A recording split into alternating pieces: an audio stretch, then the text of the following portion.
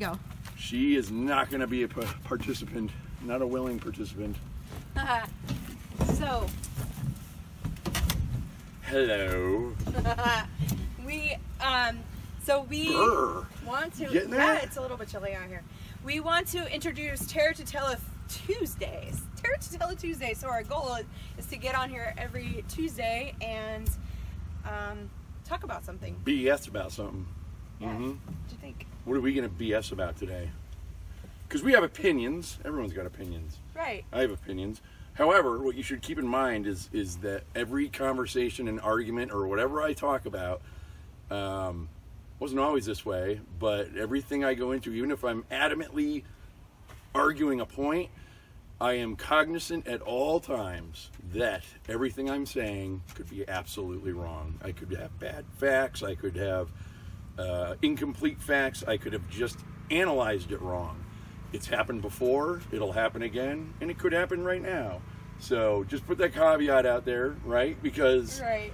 we're always learning, we're always trying to get better, and, and, and that's you do that through talking. So, Right. Mhm. And I also want to point out that Peter is drinking out of a plastic water bottle, and I always I wanted to show you guys what the wrong way to do things is. it's wrong. It's bad. I'm glad you caught that, Katie. That was a test. All right. Yeah. What's today's talk about? Well, we could talk about um, Leadership. leadership. We were talking about it earlier, so I was like, well, let's wait until we talk about this.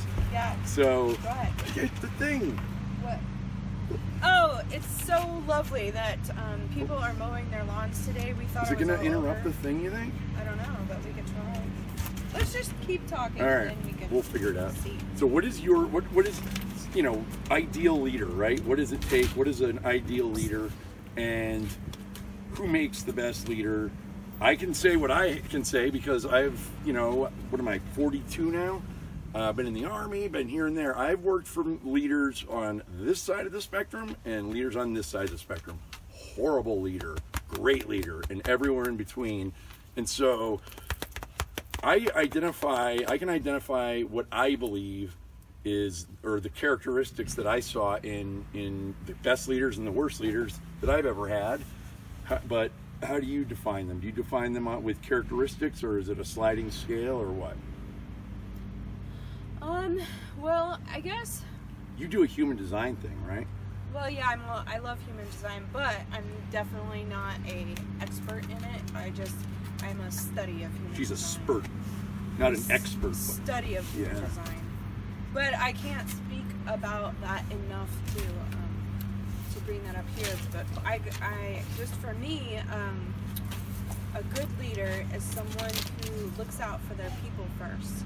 Um, I guess another part of it is uh, a person or company who um, looks out for the planet first as well. So Mhm. people and the planet first. That's what I I see. I've been in leadership positions, and I, I, what I talk about is what I, I idealize. What I when I describe what I find to be the best leader or leadership, um, but I am not that. I wish I could be, but I'm not. And there's a certain few certain reasons for that that I think are reasons. But um, one of those is. Jesus. Holy You want to go inside? And we're back. What was I saying? I was saying that what I, my idea of a leader is very, very idealistic, right?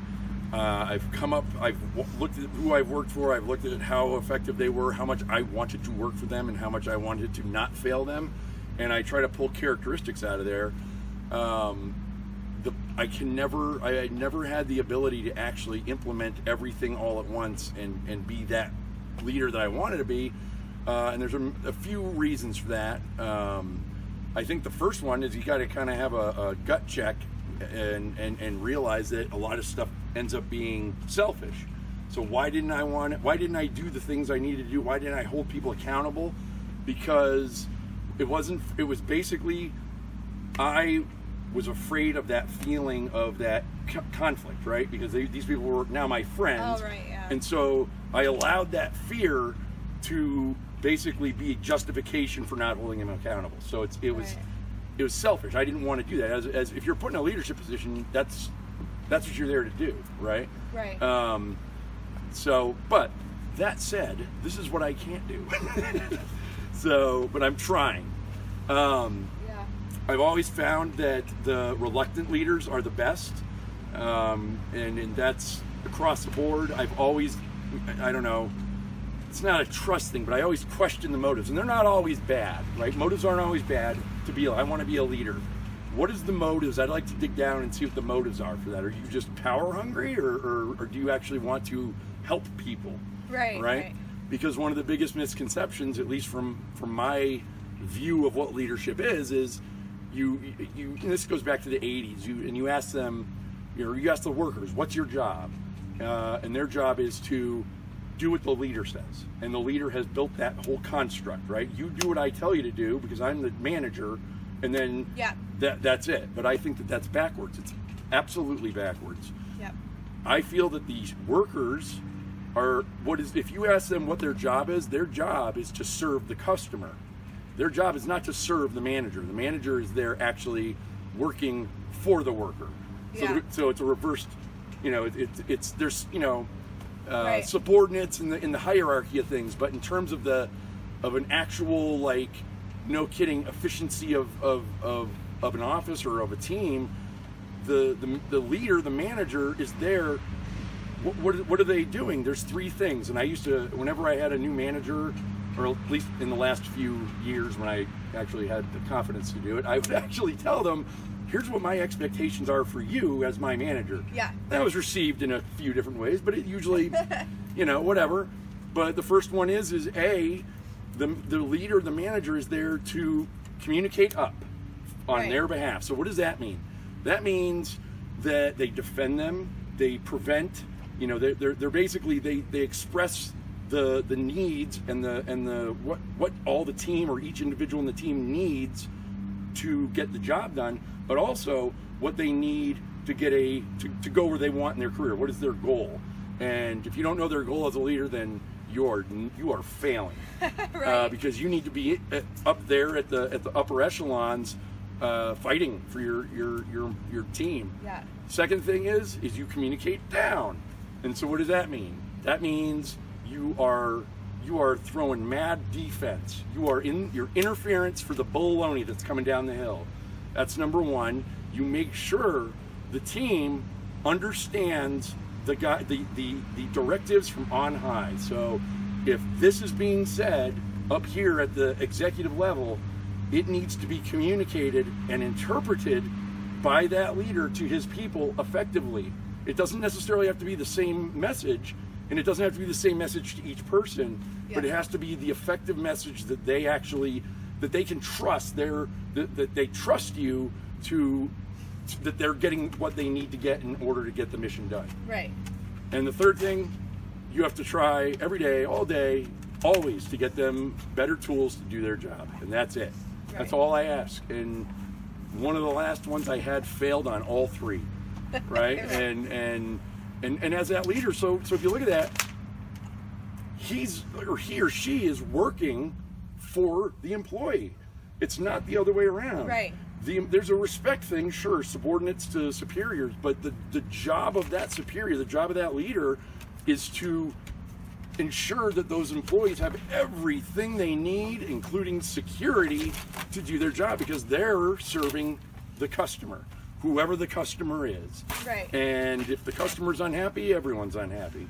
So, and that's that's just the name of the game, and that's I've seen it. Uh, uh, I came up with that over years, right? And, Yeah. and so I've seen it, and it, it, it works great when when it, it's a trust thing, right? And and if you walk into that office and you get all 1970s, 80s, and you're new, and it's your way or the highway, and you don't listen, and you sit there playing solitaire the whole day while everyone else is, which I've had, um, it doesn't do anything. That does nothing, and you're gonna. It's it's it, at the at we're at.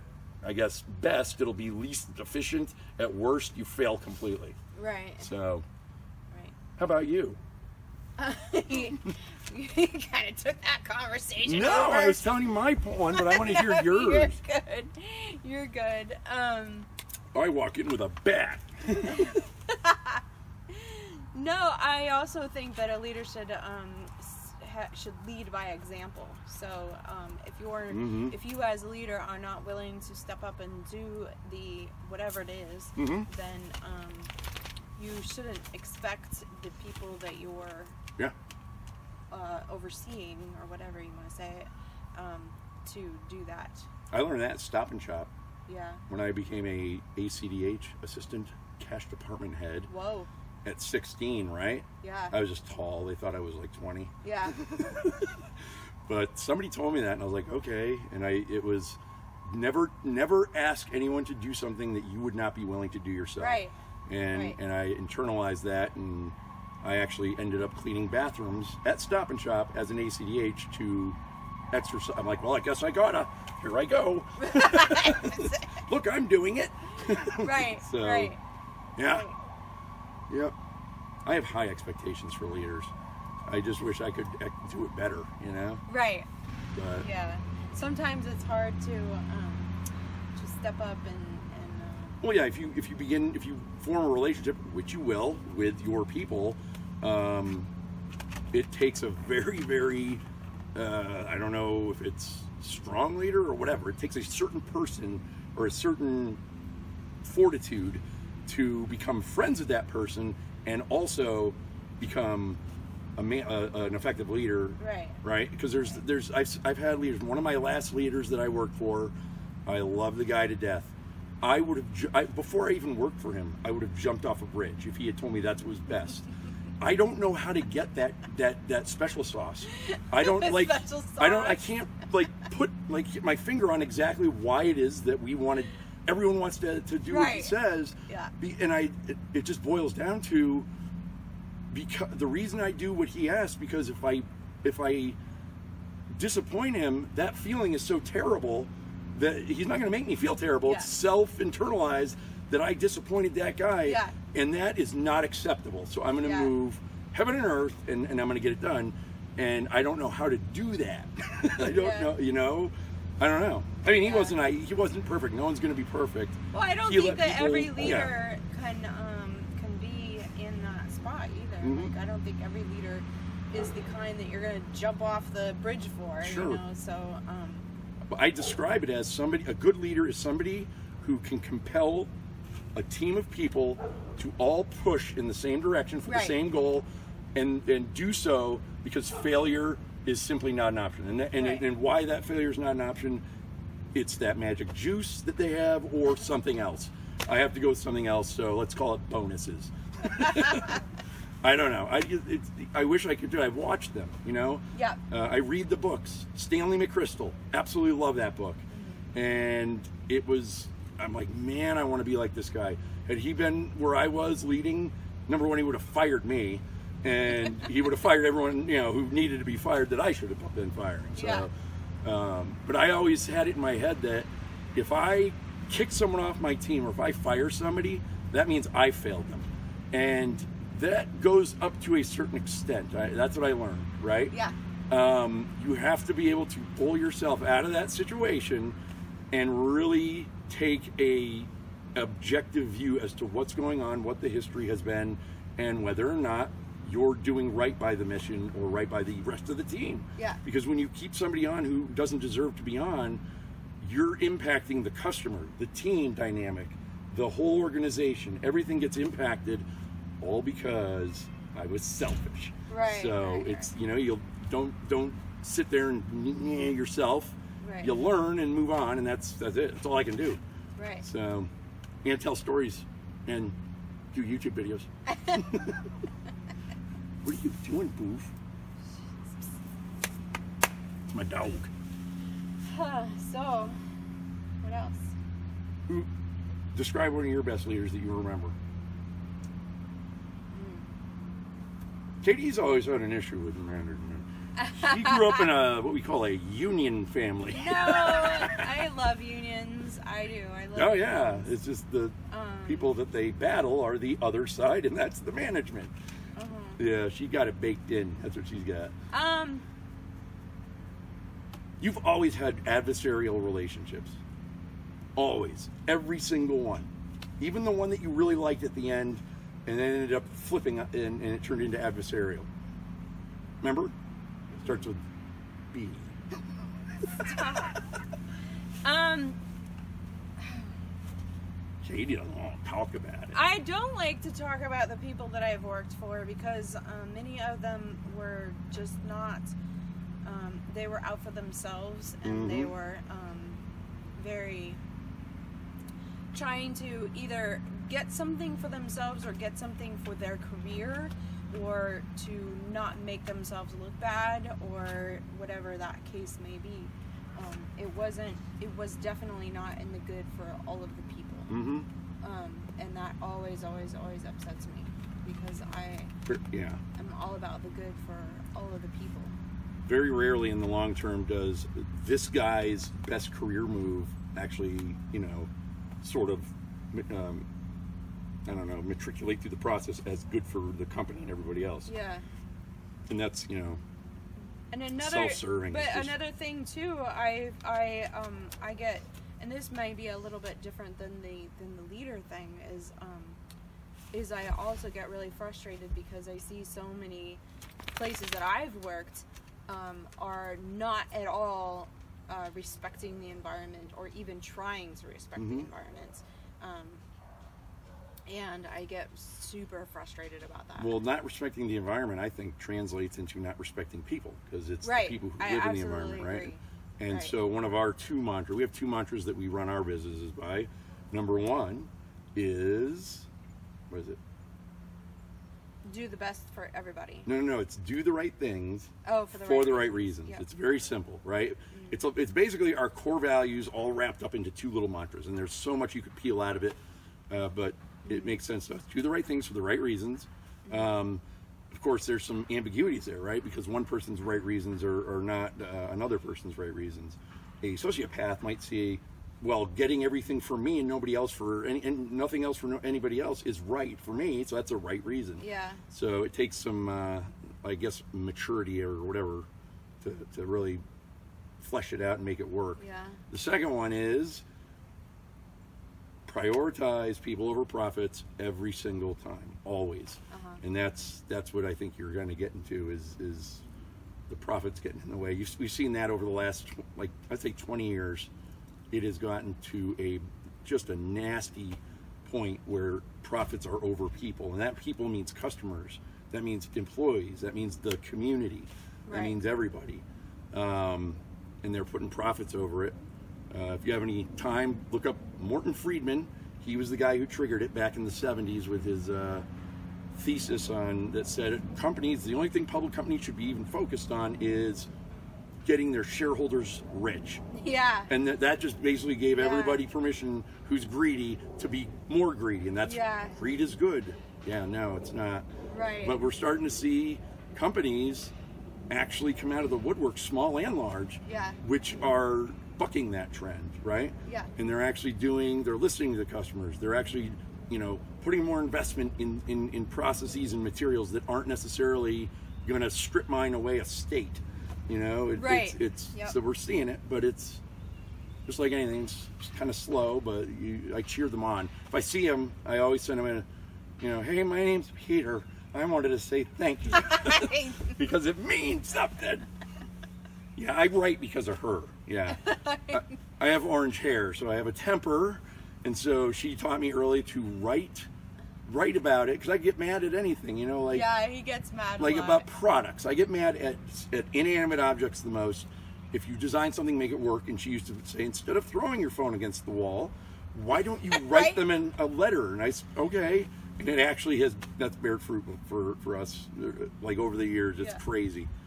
People, yeah, yeah. Until email became popular, now now you can't get anything. Yeah, kind of. The internet is probably But made that. Mm-hmm. Yeah. But yeah, so that's that's my take on leadership. Dun, dun, dun. Stanley McChrystal, read his book. yeah, you know where he is? He's up in uh, New Haven as a Yale professor now. Oh yeah. Yep. I haven't read the book. It is sitting. I didn't read it either. I have the hardcover book, but I don't read well. I get about thirty to forty percent into a book, and then it never gets picked up again. And I have about seven of them sitting around the house. So I do the books on tape, while whilst I'm doing other things like painting or sleeping. No, while I'm painting or doing something other uh, at the other house, so I can actually listen to them. Yeah. It's very cool. My mom can. She reads ridiculously fast, and I think she fakes it. I don't think she reads anything. Fakes it. she does. It's like you can't read a book that Those fast. speed readers. Yeah. Right. Well, I only read. I read one word uh, less, so I've got the. I've got the dementia. uh, nothing more on your uh, union family growing up, leadership and management. No, I I just um I'm all about unions. I think that unions are are a really really great thing because because of their basic reason. I think that I think that as a collective, all of the people getting together for a reason is very very good. Um, Often, it's the the counter to that is all the stuff we've been talking about, the greed. Yeah. Mhm. Um, I I also feel that the way that the unions are set up a lot of times um, are are not necessarily in the best for the for the individuals of the union. Um, I do know unions that are fantastic hmm for the for all of the people. But history Um, history has shown that they can actually just be so ineffective that they just the country co- uh, company has to shut down. Right. and that's not Right. nobody wins. So Right. uh, the worst ones are the self-licking ice cream cones, and you, you know they exist simply to keep themselves existing, right? Right. Right. And uh, and that's you know it is what it is. There's always bad apples, but I think for the most part it's it's Right. mostly good. If I was an employer that size, like uh, I think Southwest Airlines, Mm-hmm. they were union free, the only union free airline forever. And man, because they they treated their their employees awesome. Yeah. And I don't think that that went away. Something dynamic happened. I don't remember what it was, but they ended up unionizing, and I remember being disappointed. I'm like, oh, Southwest. But they, the company still is. They you walk into the headquarters, and they have pictures drawn by their employees' kids up on the wall. but but that that's where the difference in unions are that are good and and and bad not all of them but as a collective Mhm. that's where the difference is so when when a union is set up so that you are a member of the union before you start working at a place or a company or whatever um, that's when the union is good when the union is, when you get hired for the company and then you have to join the union because you got hired Mm. for the company that's what i think that the union falls short because because now you Like a closed shop, right? yeah, Is that what it's yeah, called? yeah, yeah. Um, so now what happens is the um, the company and the union have this little contract that is specific usually to that location, um, or a couple of locations, and and then it it becomes dil- the the purpose of the union is then diluted because now um, now the company and the union are trying to get themselves e- e- you know they're they're very much in bed with each Mhm. other um, but but in the case of the plumbers and pipe fitters and the electricians Right. and the um, there's a couple of other ones but in those cases now you join the union you go into an apprenticeship hmm and you you you belong to the union first and then after that Right. you go and you get a job with the union So the distinction is that the labor unions versus the I don't, I don't- they're probably all called the same, but in my brain, it's labor unions are the pipe fitters.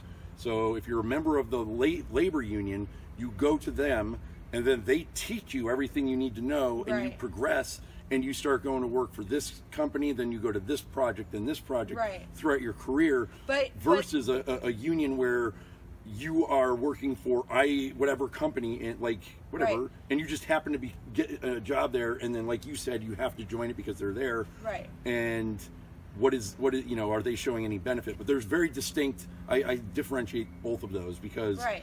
there's a huge value here with the labor unions because it's where con. It's where, if I'm going to build a building, now I have a place to go where I don't have to haggle for pricing on all my people, Right. and I know that I'm going to get the, the top tier talent. Right, a- absolutely. And- And, and- um, and then in that case, then the union is is there's still some politics, Mhm. but the the union in that case is then protecting all of the people for all of the good, and Right. it's it's um it's way better than than um than uh, a, a situation where you get hired first. I think another issue there is if you have a company that is this will sound familiar.